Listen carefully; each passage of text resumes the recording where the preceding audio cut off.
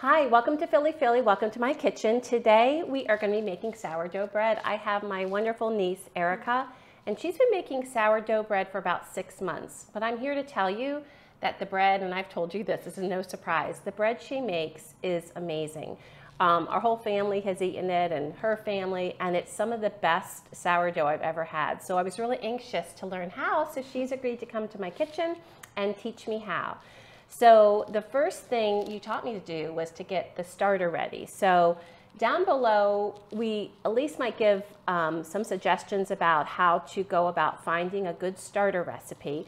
So in the description below, you can find that information but she already has a starter because she's been making it for six months and that's really the starter you've been using right based yeah yeah. yeah. I started it at the end of November in between jobs, and it took like a week and a half to be ready. And then when it was ready, I made my first loaf and just been continuing it from there. That's awesome. So it is good to know also that it takes about a week and a half when you initially decide, mm-hmm.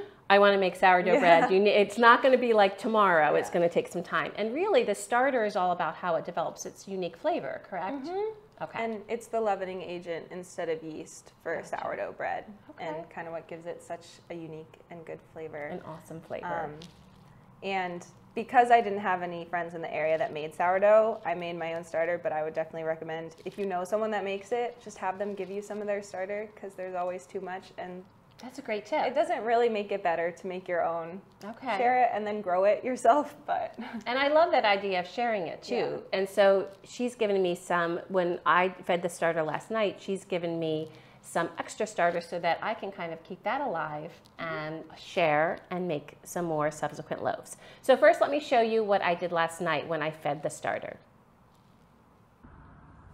All right, it's time to feed my starter. As the Dunkin' Donuts man would say, it's time to make the donuts. However, for my purposes with a sourdough bread, it's time to feed the starter. So in front of me, I have all I need, flour. I have the start, the original starter from my niece. I have the jar that I'm going to be mixing it in and warm water. I'm going to be putting equal amounts of each of those into this jar. That's going to be 50 grams of the old starter, 50 grams of the flour, and 50 grams of warm or lukewarm water. So just to make sure that I'm all kosher with everything, I'm going to use my scale here to make sure all of the measurements are precise. So let's get going. We'll start with the original starter. So I have my scale on to grams. I'm going to put my little dish here. I'm going to press this to make it back at zero. And I'm gonna take my starter and pour some out and get it to 50 grams. That's the intention. So you can see the foamy goodness there, all that flavor. So let me gently put it in and make it 50 grams. I'm a little worried how this is all gonna work.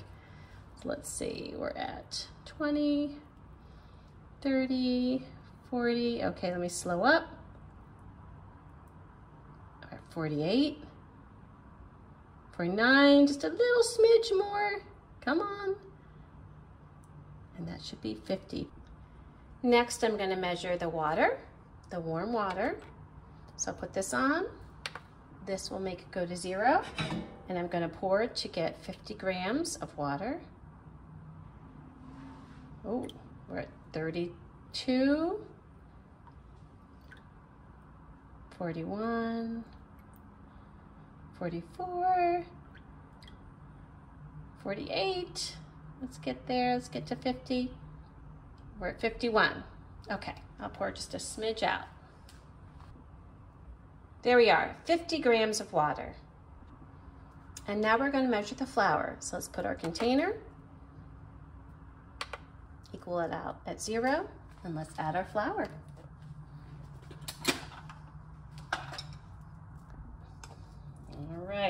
Just regular flour with this. Got 27,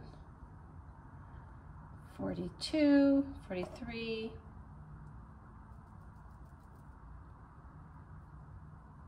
Oh, I knew I was gonna go over. Okay, let's get a spoon and get some of that out.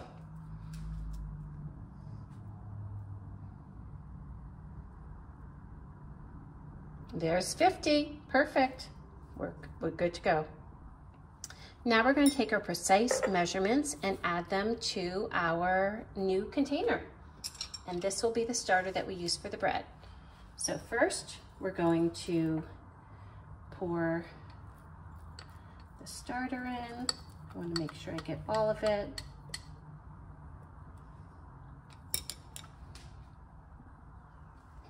I get every last bit because we certainly measured it.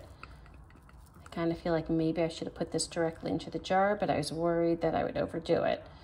So I'm trying to make sure I get every, or at least almost every last bit out. Hopefully that will work. Then we are going to add the water next. Let's move that over so you can see it right there. We're gonna add the water, the warm water, warm or lukewarm. And then we're gonna add our flour. To get that in. You know what? I'm gonna put it in a napkin so it goes in more cleanly. If I put it in like this, it'll get in a little bit more cleanly. There we go. I think we got it all. There we go. All right. And then I'm just gonna take these, my niece recommended the chopsticks to just mix it all together. Doesn't have to be perfect, but she said you'll know. Yeah. Looks good. Put the lid on tight. Okay, so that's what happened last night. And you had recommend, just for timing's sake, that was like at 8 p.m. Yeah. last night. And now it is about a little after 9.30. So what was the timing of, I know part of it's ultimately when we bake off the loaf, but what loaf, but was there, um, you know, a certain idea in mind with, with timing when you do the starter, when your next steps are? Yeah, um, unfortunately, it can range depending Okay. on temperature. So the warmer it is, the less time you need after feeding your starter. Okay. It could take as little as like four hours. Really? Yeah. Okay. Um, in the winter, it took my starter quite a bit to rise and be ready for another feed or to use. But I always find that it's better to start baking with a starter that's a little past its peak than one that hasn't peaked yet. So even this one that um, show. and Amy fed last night, it is past its peak, but it'll work fine. Um, And you can see that it went up and then it has dropped. So that showed that it went up to its peak. Mm-hmm. I would have never known what that was until we chatted about it. So, so that's good to know. And that's just the, where it's, we're going to get all of our flavor from, right? Mm-hmm. All right. So what should we do next? Okay, so the first step is super simple. We're just mixing together all our ingredients and sourdough bread at its simplest is just your sourdough starter, flour, bread flour, Yeah. um, water, and salt. So Excellent. Excellent. And we I- should measure it, right? Like if, yeah, if possible. or- kitchen scale is the easiest and the most effective way to measure your ingredients correctly because flour is tricky to measure by volume. So weight is definitely the best move there if you're able. And you can get a kitchen scale on like Amazon for 10 bucks. I was to So- say, I'll link the one that I have, I got from Amazon. Um, actually, my son Matt helped me pick it. And I'll put a link below of what um, that scale is, just in case you need to get started. And honestly, I will say, if you do any baking, a scale is good for that, mm-hmm. especially with breads, because that makes your measure- measurements much more precise mm-hmm. and I think really aids in the final product. and less dishes. Oh, I didn't think about that. You're right. Mm-hmm. Less dishes. Okay, so now for this, what? How do you approach it then with doing what we're going to do? Yeah, so I usually start um, with the water Okay. just because it's easiest for me to have the water on the bottom and then mix in the things from there. And does the water need to be any temperature? Yeah, um, I usually do warm water, not hot, but if it's warm, it helps the rising process, Okay. and especially in this in between weather. I don't know what I'm expecting. I'm starting because I started sourdough in the winter. I'm moving into warmer months now and trying to figure things out. I didn't So- think about that. It might be a little bit different from what you've been saying. Yeah. Oh, there was one day I did it when we had that little 80 degree span. Right. in April. In April. It was crazy. and it, it grew really fast but you know it always works out even if it's a little overproofed Yeah. so I think that's the from talking with Erika about this whole process is that there is some flexibility within the what would you call it, like the guidelines. Mm-hmm. Um, and I think that helps me because I think I would feel very intimidated, feeling like, oh my gosh, it has to be right then, right then. And probably really um, famous bakers might uh, disagree. But however, for the home cook, flexibility is there, which I love. All right, so Mm-hmm. What? how should we do this? So start with our bowl on our scale, and we're just gonna want to tare it. Mm-hmm. Um, and it's on grams, so we're good. And I And by the way, taring it just means you want to make sure that your scale says zero. Um, if you've already turned on your scale, you can put whatever you're measuring it in. You can press the on off again and it brings it back to zero. And most scales have a variety of different measurements. It was on grams because I had it on grams when I did the um, feeding the starter because I used it too. so I had already ran this to make sure it was warm, but it cooled off. That's so what we're running happens, it to make sure it's warm. So is it lukewarm or is it past lukewarm? I do a little past lukewarm. That's what I did last night for the starter. yeah. Okay. Very good. I'm just gonna move your glass Um, here. There. Mm, okay. Is that good? Do you mind if I touch? to Yeah. see? And our hands are both clean. Okay, so that's that's um, that to me is a little still like mine was probably a little bit warmer than that. Yeah, you can use fine. warmer, Okay, and cool. it's different again every time I All do it. Cool. Um, I love it. But so I've made a couple different sourdough recipes, and at this point, I don't necessarily follow a certain one, but I know my proportions pretty well. So for this basic sourdough recipe, we're gonna do 375 grams of water. And this is the part I find a little intimidating because you're trying to get the exact measurement, but you can always remove some with a spoon or a little a little bowl or something. And yeah, and also again, if you're like 10 grams over or under, I would even say it's probably fine. And we're under right now. Which is actually helpful because last night I was obsess- obsessing for Oh. one gram. I literally Oh. was. Because I'd never done it, so I wasn't sure how precise. So we're at 375. Perfect. Okay, hey, it's going to be a great day. And by the way, uh, in the link below, and I will um, specify this, is the first one you actually used. So there was a certain recipe used first that you found Mm-hmm. Yeah. online, and you said it was quite simple. So Yeah. that is linked below for just getting started. Yeah, I looked up a beginner recipe. That one had good reviews, and it was a great starter loaf to work with. The dough had a lower water content, which made it easier to work with and shape. So that was super helpful. But the one now has a higher, um, and you call it hydration. Mm-hmm. Hydration. I don't know what any of it means, but that that's. But what- there's more water, correct? Yeah. And I wonder if that's why the ones you do now are so moist. Could be. So, all right, so we got the water. Um, and then what we're gonna do next is add the starter. I add anywhere between 50 to 100 grams for this. Um, do you want a little spatula? Or should I use a little spatula, or does it just pour? I pour it, but you can also use a spatula. So you said 50 to 100. 100. So where would you go? Where would you shoot for? it depends on my mood and how much starter I have. Well, Honestly, tell me like, what mood you're thinking. um, Is it more flavor? Oh, okay. So we'll say like 75. Okay. But while we're doing this, you probably can't see from the camera, but the starter is floating. okay. That's actually what people say to do the float test to see if your starter is active and whether or not it should be used. So it is floating, so it is indeed active. Um, That's good to know. and like I said, Fi- I don't al- 75, by the way, is what Yeah. we're shooting for. Okay. I don't always use an active starter because I just do it when I have time. And it still works, but this one is active, so That's- so it's gonna be extra special. directions. I love it. So I'm going to bring this over to show. That way we can get a closer up. There we go. Beautiful. 74, is that good? All right, let me. 75. 75. Oh my gosh, it's a perfect sourdough day. So let me just bring this over. Does that mess up our scale or we have to Um, go no, zero 'cause We're anyway? gonna tare it, yeah. So you can kind of see it is floating. So we are we are in good hands. But I love what you said is that even when it's not floating, you've used it and you've thought the results. Yeah. were yummy. And I think that's awesome.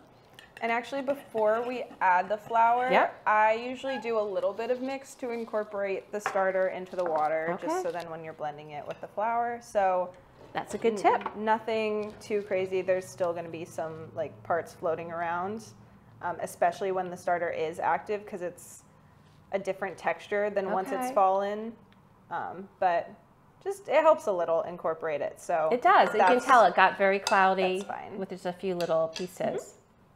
I can't tell you how excited I am about this. This is like so cool. And I love how you're giving us some information kind of about like the float test and stuff. I, I think that's awesome. All right. So Mm-hmm. Um, now, yeah, flour is going to be our next step. Um, now do you just start pouring? I usually, yeah, just pour straight from the bag. We're doing 500 grams of bread 500 flour. grams, Okay. This pouring is just And definitely a little out of my comfort zone. Yeah. This is going to use most of the bag based on what we weighed the bag. So you're at 444. 444, Okay. Yeah, we are going to have enough. We weren't sure, but um, and we're going 500, right? Yeah. Yeah, 491. 496. Beautiful. Want to take some out? We don't have to, but if you want to. No, let's just, it's a 506. 506. But it really at that point isn't going to be a big deal, correct? No. Okay. All right. Okay, um, so then different people do it differently. A lot of We're done with this? Um, no, we're gonna use it for the salt as well. perfect. Um, lots of people, when they're adding their salt, they do it after the initial mix process and they mix the salt with hot water to kind of incorporate it easier. Um, Interesting.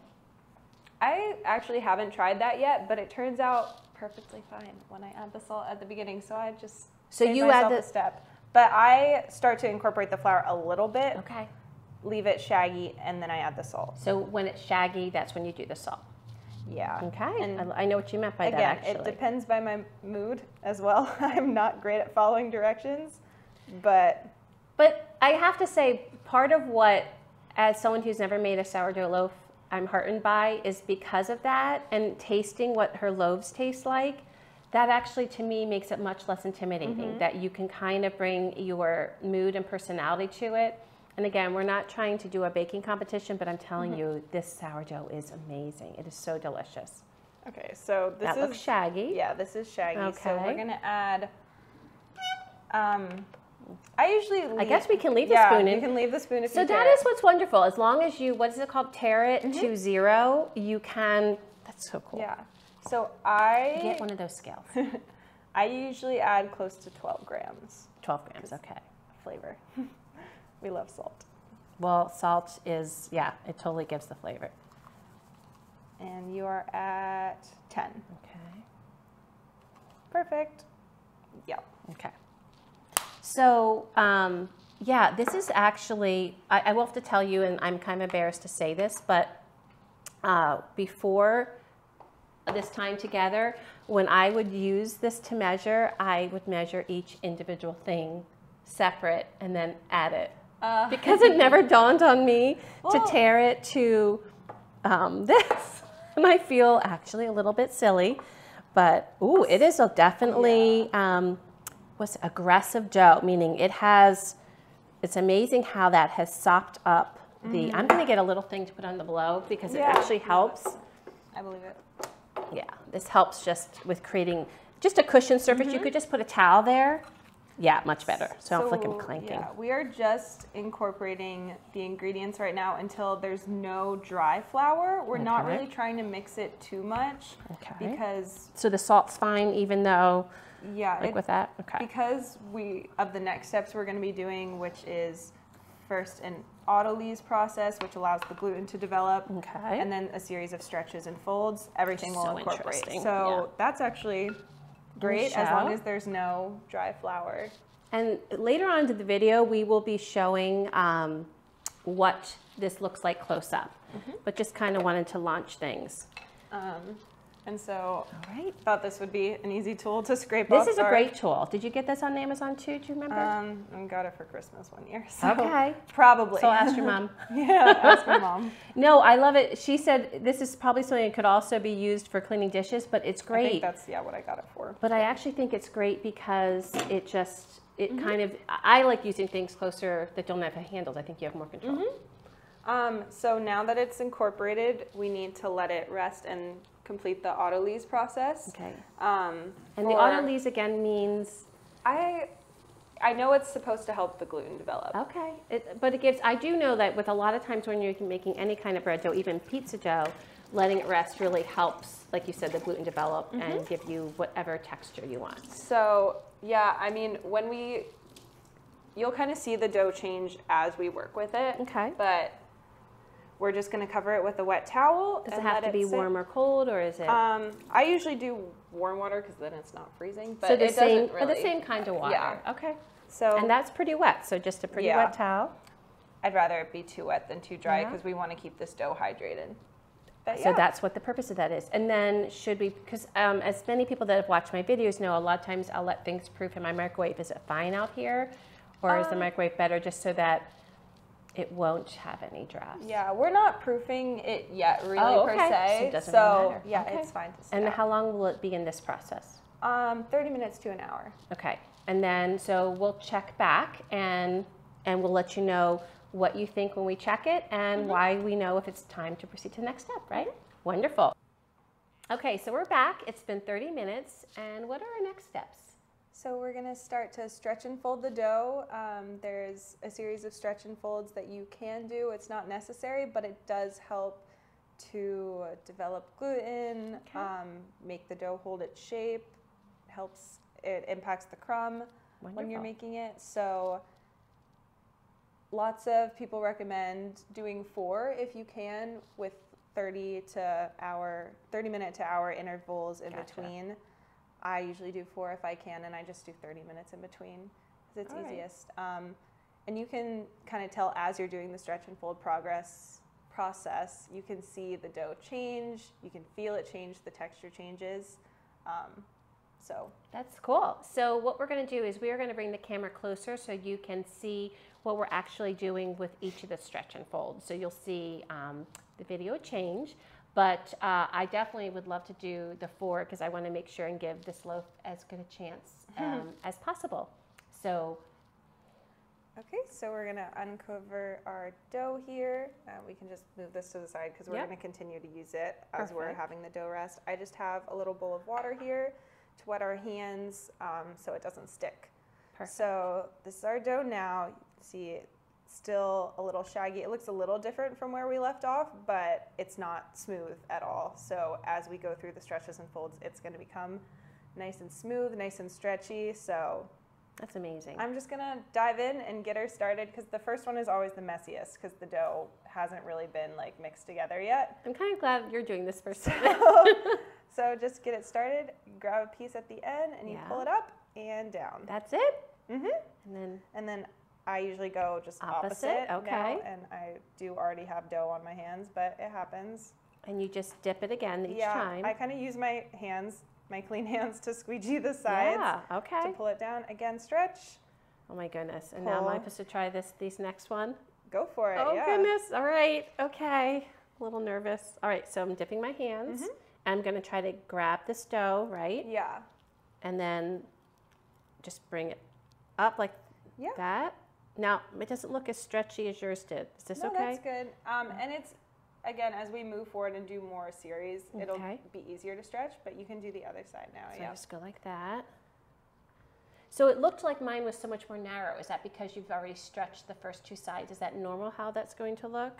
Do you know what I mean? like when Um, I pulled it, it just seemed. Oh yeah, because it was already in the center. Now it's Um, not really sticking, so is that you're- okay? Yeah, you're fine. It's it's a very flexible dough. It's gonna it's gonna work with whatever we do to it. Um, and like I said, the first one is always the most chaotic. Okay. It'll look a little nicer as we continue. Mine never looks as good as the videos I see. Everyone's just like falling into perfect place. Wow, of but it, course. But it tastes fine. But I love see, but see, this is what I feel like we all need to hear Mhm. because you need to know that when you're doing this. yeah. Because so, this seems very foreign. so four is fine. I'm kind of just like after the first dough, I kind of check the texture of it to see if I feel like salt clumps Okay. or something. It's not really part of it, but just to make sure everything's mixed in, and then I'll just finish it off with a few folds here. Okay. Um, Four or Um, yeah. I again, I don't usually count. okay. but um, I'll And do, so you're just going around then. yeah, just Okay. to kind of make it pretty even. Um, Want me to try one? yeah, go for it. That Okay. one there. And then, but and I'm I see that you're kind of feeling it too as you're pulling it. So that's something I would. So I, I'm kind of feeling that like that, Mm-hmm. and then just pulling it like that. And should I do one more?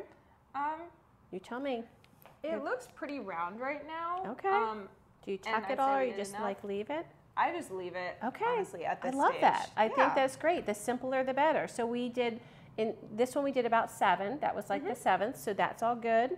Um, and now we cover it, correct? Yeah, we're gonna recover it. Give it another half an hour to rest. Half an hour to an hour. We're gonna probably do a half an hour, Okay. um, and then we'll keep the stretching and folding. We'll keep the stretching folding. Wonderful. Okay, so this is the second one. So we're gonna uncover, take a peek at our dough. Um, Nice. It's a little more elastic than the last time we peeked at it. Yep. Um, so I don't always do this, but I'm just gonna scrape down the sides a little bit with this wet thing just because we have some residue dough. Just make sure it's all in there. Gotcha. And one of the things you and I were talking about while we were waiting for this last one was we were looking at a video that we'll include below that shows what the stretching process looks Mm-hmm. like. Um, but she didn't moisten her hands, and you were talking about the hydration factor of, Mm-hmm. of that. So the, the water isn't bad. No, we just um, we like to keep the dough moist, so Yes. that's part of the reason. Would you like to start? Um, sure. I mean, it's, and you can, Yeah. but please tell me if there's anything that I could do better. It really is so flexible. It'll the dough will work with you. so like that. Mm-hmm. That yeah, good? That's great. Okay. And you Um, suggest going across. Yeah, right? I usually do across. Yep, I don't it. know that it No? really matters, but that is what I do. Okay. Can you feel Oh. a difference texturally? Yes, I can tell. It's it's um, and I didn't wet my hand, so I'll do that next time. All good. So like that. Yeah. So just kind of if it comes off the bowl, just do a little stretch. Yeah. Now we were talking also about not wanting it to rip because I saw there's a little part there. Can you talk about the the Yeah, ripping thing? Um, I mean, I don't fully know the science or any of this because I am really just here for the fun. of course, which is but, what I love um, about it, honestly. Keeping the dough, dough together is just ideal because you know if you're breaking that structure and then trying to piece it back together. That's true. That makes sense. And I'm just feeling. So if I see a bubble, do I pop it? See, there's a little Um, bubble there. I don't. I All right. Don't, I don't know that it matters. I would- I just wasn't love- sure. I love a crummy sourdough, so I always assume that the bubbles help the crumbs. Sure, I love that. So then that's four, right? Yeah. Do so any we more? Could, we could pause there. Um, I kind of want to feel the dough. Please so feel it. Yeah, so my- let me know what you're feeling. Yeah. Yeah. Um, So it could just be four, but in the effort of trying to, I don't want to use that one. yeah, actually. this feels great. This feels as it would normally feel for me. So I'm not stretching it too much because you already did some good Yeah. stretches. I just wanted to get my hands on it a little. Yeah, absolutely. and to see, so I did notice the texture change for sure. It's definitely tighter, but also like smooth. You know. It is. It's actually really nice Yeah. texture. Okay, um, and that's sufficient. I didn't really stretch it much, but just to feel it and kind of put it back Yep, into shape. And then perfect. again, this is what it looks like now. And we're we'll just cover gonna cover. and on it in another half an hour. Wonderful. And so this time I'll be by myself, so I might sound nervous, friends. but um, so thank you. And then the next time I see you will be when we do the shaping. Shaping, yeah. Wonderful. Great. Okay, 30 minutes are up and I'm on my own, so a little bit intimidated by it. Let's see what it looks like. All right, so here we go. And I'm going to continue this process of stretching and folding. I guess stretching and pulling and folding and so it just feels so smooth. It really has a lovely feel to it. This is my third stretch and fold. And I'm feeling that dough and it's it's it's just really nice. I'm just wetting in because this is the hydration that she talks about that really makes I think her loaves extra special. I'm gonna leave those bubbles in like she talked about. Seeing some little bubbles going, which will make some nice little air pockets, I guess, eventually.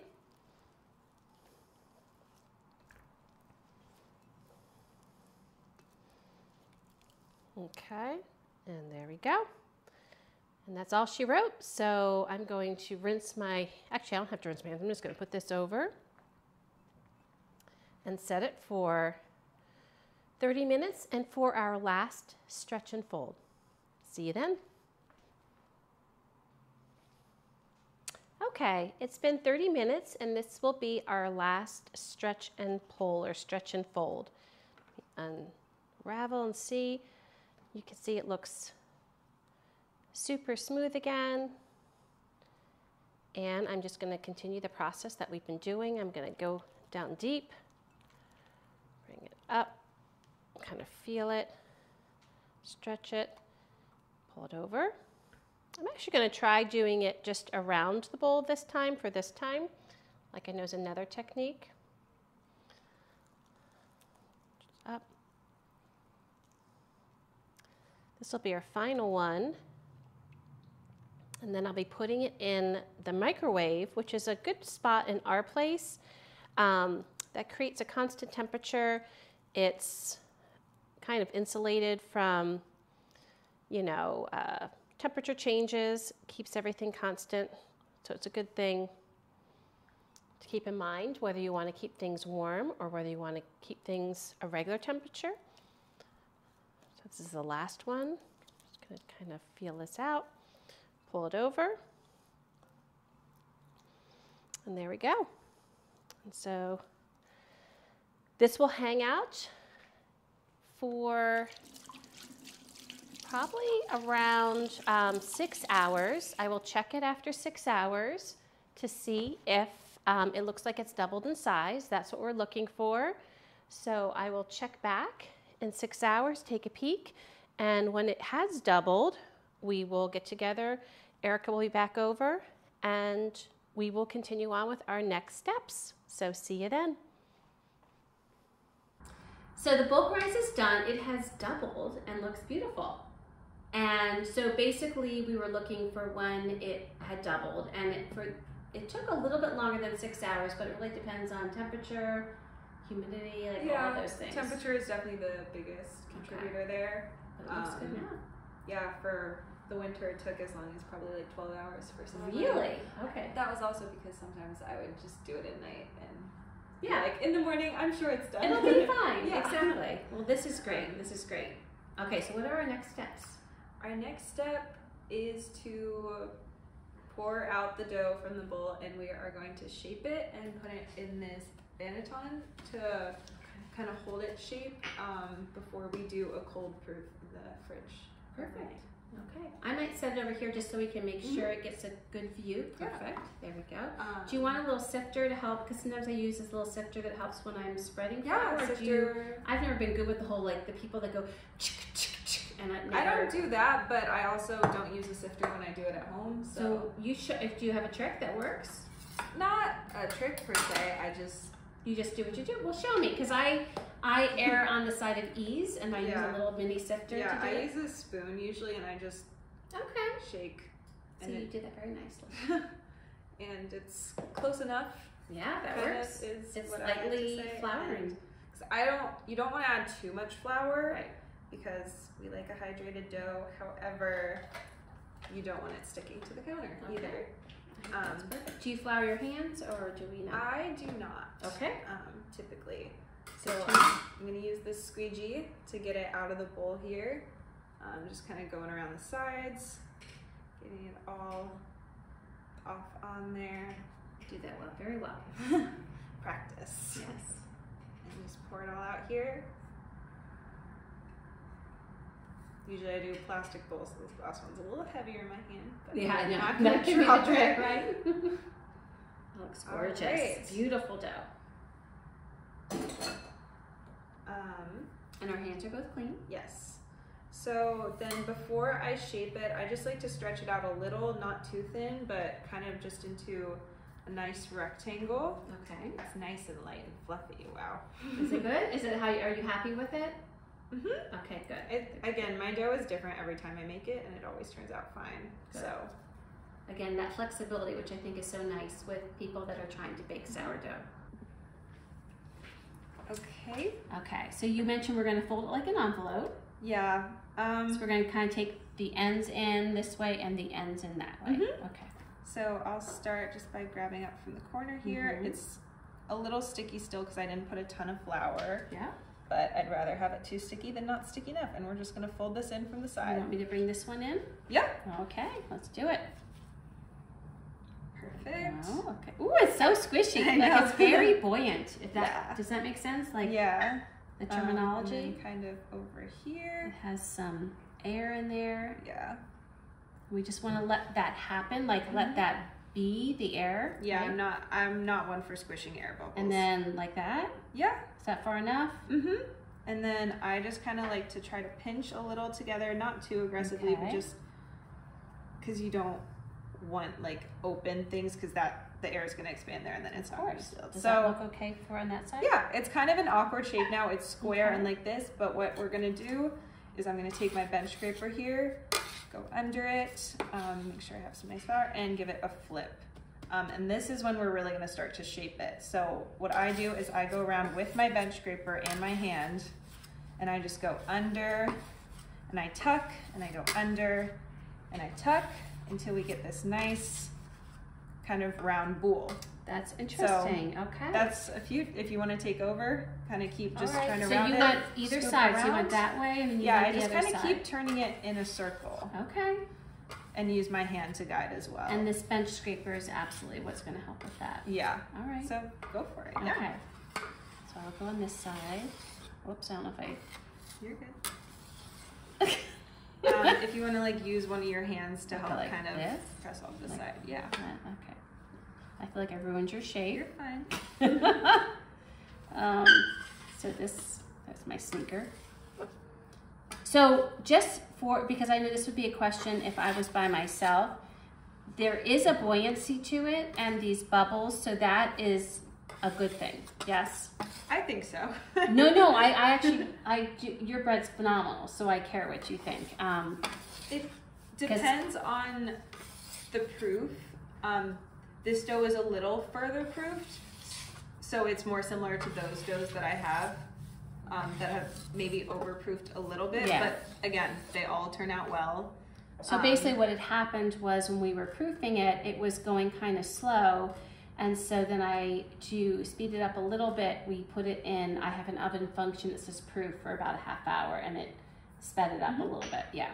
So then would you do more? Would you Um, show me how you would do it for the final? so for the final one, before I do the final Mhm. shaping here, I just want to prepare the Banneton. So this one's been used a few times. What I normally do in between is I brush it off and I shake off the excess flour. is that um, regular flour or rice flour? Um, so I've used both in here, but this is more so rice flour because it doesn't burn the way regular flour does. Um, granted, for mine, I'm not usually cooking them long enough or at high enough heats to burn the flour, but it also does give us a nice white surface to work with when we're doing scoring and especially if we're scoring designs on the top of the loaf. Yeah, absolutely. So I'm just shaking some rice flour okay in, in a sifter, which is nice. Mhm. Yep. The sifty jar. And so now that's all prepared because this part can get a little delicate. so I I might do that if you're okay with Up. I would love to. I'd love to see Um, it. So I'm gonna do I mean, I'd, um, lo- I'd love to see it. Excuse me. We're getting a little sticky here because I've left it. Hold on. We're gonna do a little final shape here Mhm. with our dough.